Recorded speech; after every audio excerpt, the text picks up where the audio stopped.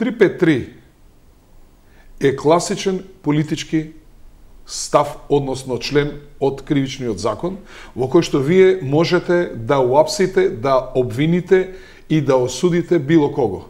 Тоа е замена за член 114 и 117 од Кривичниот закон на Југославија. Контрреволуционерно загрозување на социјалистичкото самоуправување и тантар пантар и така натаму и така натаму. По тие по тој закон е суден Али Изетбеговиќ сите политички затвореници во во бивша Југославија.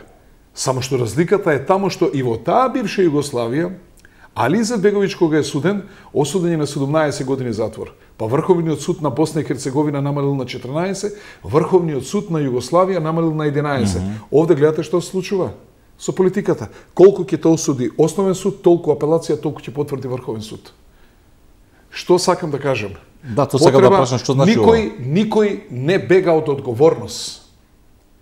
Потребно е одговорноста да се прецизира.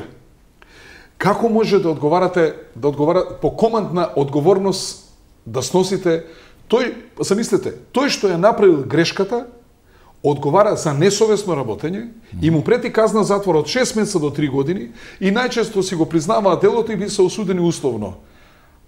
А тој што бил, дали директор, дали министер, дали градоначелник, така натаму, кој не ги работи предметите, кој по дефолт ги подпишува, него му се одзема пасошот, се бара притвор и му прети казна затвор над 5 години. Дали е тоа во ред?